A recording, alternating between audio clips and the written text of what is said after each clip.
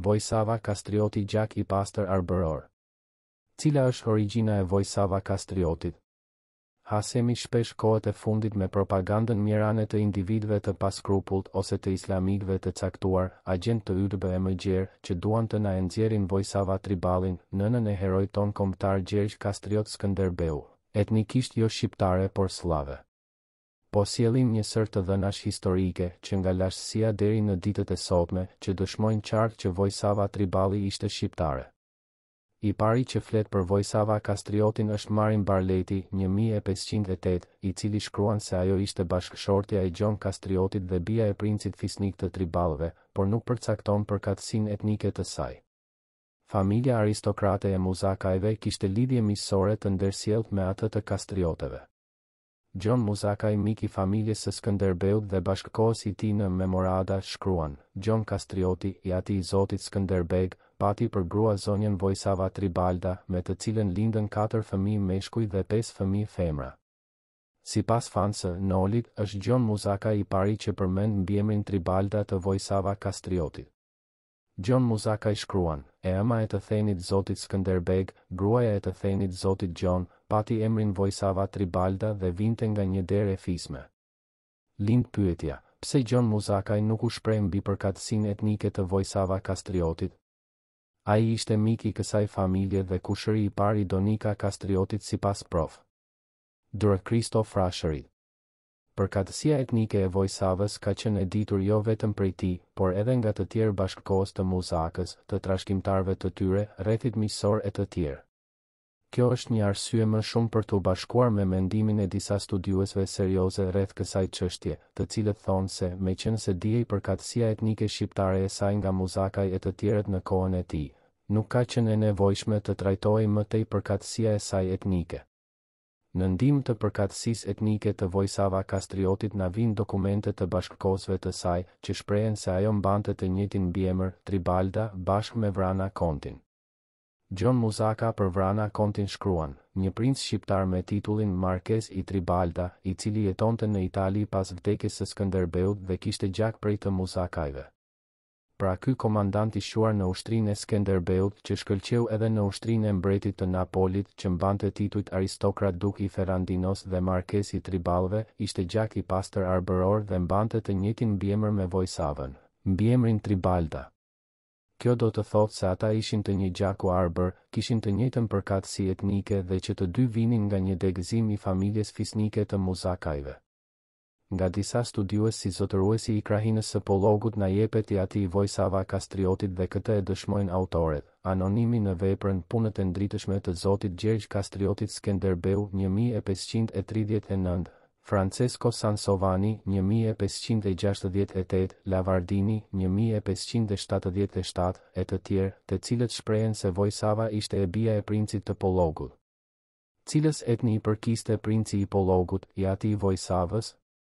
Pas vdekjes së Stefan Dushanit dhe shëmbjes së perandorisë së tij serbe, sipas disa burimeve historike, fisnikët e Arbërisë u ngritën dhe rimorën territoret e tyre të humbura. Prof. Pëllumb Xhufi në studimin e tij Zotërimi i Gropave të Dibrës në shek. xi-xiv, na sjell një fakt interesant. Pas vdekjes së S. Dushanit zotëruesi i trevës së Dibrës përmendet zhupani i madh Andrea Gropa. Ky arriti të presë monedhën e tij, gjë që tregon se ai kishte mundur të ngrejë një principatë mjaft të fuqishme. Më tej autori shpjegon se A. Gropa i shkoi në ndihmë despotit të Beratit, vjehrrit të tij, Andrea Muzaka për marrjen e Kosturit, i cili sundohej nga princi serb Marko Krajlevic. Me rënien e tij, Kosturi u kaloi Muzakajve, kurse Andrea Gropa u bë sundimtar edhe i Ohrit. Të njëjtin fat me atë të M. Krajlevicit patën edhe princër të tjerë serbë, që sunduan në territoret shqipetare të ardhur në pushtet gjatë sundimit të S. Dushanit. Studiues e historianë të kësaj periudhe, ndër këta Fan S. Noli, argumentojnë se gjatë shekujve xi-xi fisnikët arbër sundonin deri në rrjedhën e sipërme të Vardarit, si Balshajt, Gropajt, Muzakët, Kastriotët e të tjerë. Brenda këtij territori përfshihej edhe Pollogu, zotërues i të cilit ishte i ati i Vojsavës.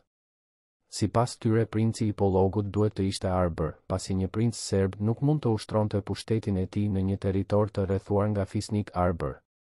Rreth popullimit të këtij rajoni me shqiptarë, shkrimtari ynë Ismail Kadare është shprehur, Është absurde, që shqiptarët nga majat e larta të Shqipërisë të mos e kishin vërejtur një fushë aq pjellore para hundës së tyre.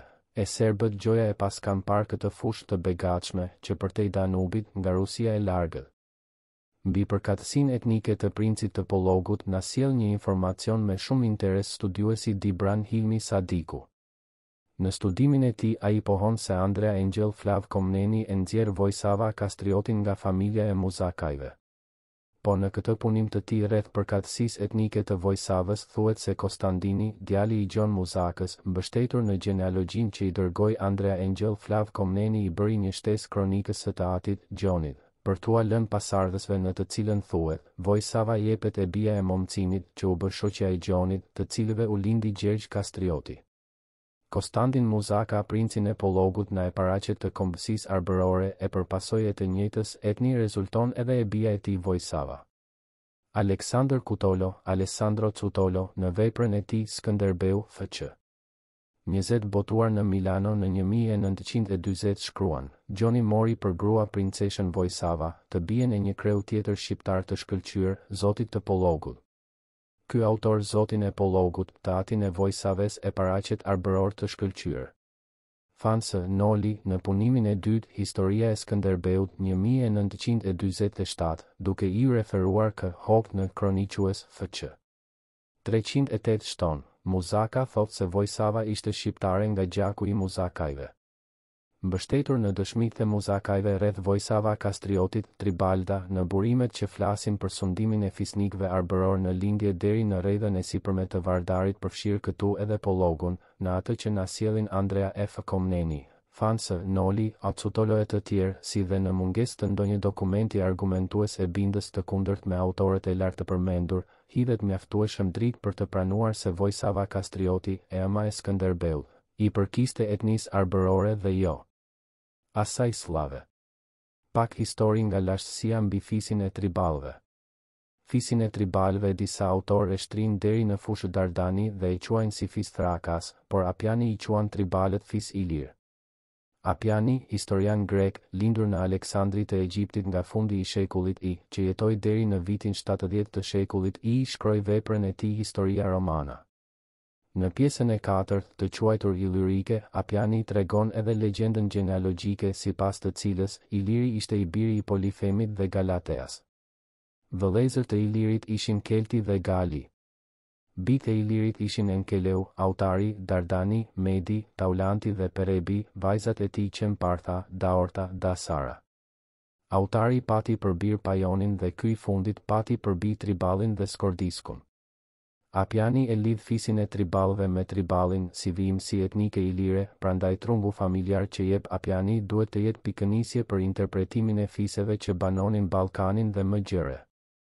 Kjo pikëpamje e Apianit është në shekullin I, por që na pasqyron diçka shumë më të hershme në kohë. Stefan Bizantini, leksikograf i madh me prejardhje nga Konstantinopoli, jetoi në shekullin VI dhe vepra e tij De urbibus et populis u shkrua gjatë viteve pesëqind e njëzet e tetë, pesëqind e dyzet e pesë.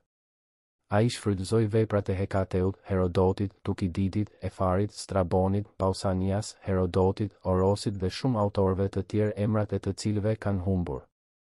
Kjo vepër është ruajtur jo tërësisht, por nga epitomet e saj të grumbulluara nga leksikografi i Justinianit të Madh, i quajtur Ermolau.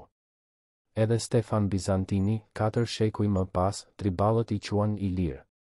Në shekullin vë para ES, fisi i Triballëve banonte në krahinën që shtrihej midis Moravës dhe Iskras. Burimet që flasin për trevën e Triballëve në kohën perandorake romake janë Straboni, Plini, Ptolemeu dhe Dion Kasi. Të katër na thonë se triballët banonin midis Moravës dhe Iskras. Sipas Strabonit, pas vendit të Skordiskëve gjatë Istrit, është vendi i triballëve dhe i misëve. I njëjti autor thotë, Skordiskët e vegjël ngjitur me triballët dhe misët. Është e vërtetë se Straboni na informon se bastarnët, skitët dhe sarmatët i kishin nënshtruar shpesh triballët, kështu që do të mund të mendohej se banonin në afërsi të Scitisë, ku inkursionet e këtyre popujve kanë qenë të shpeshta.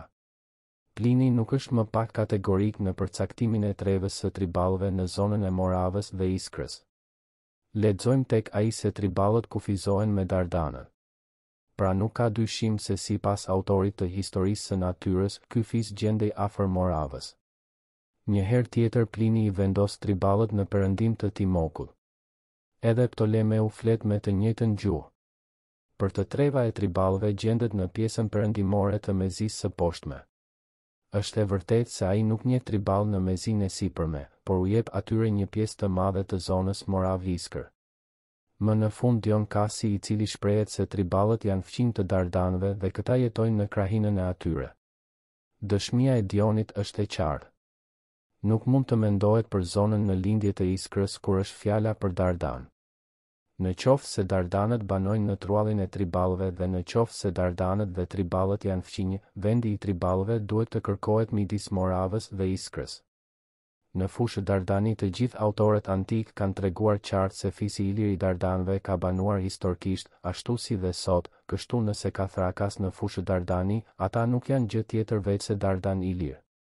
Dardanët shpesh nga autorët antikë dhe modernë janë quajtur si fis thrako-ilir, çka tregon që nuk ka asnjë ndryshim etnik midis ilirëve dhe thrakasve, përderisa fise të njohura si ilire janë edhe thrake njëkohësisht. Mbretëria thrake e Odryseve shekulli vii para erës së re, Res Eanidi është mbreti i parë i thrakasve, që njohim nga burimet e shkruara historike, por pa diskutim që mund të ketë pasur dhe mbretër të tjerë para tij. Ai qeverisi në fund të shekullit XII dhe ndoshta në fillim të shekullit të XII para erës së re dhe mori pjesë në luftën e Trojës si aleat me Trojanët.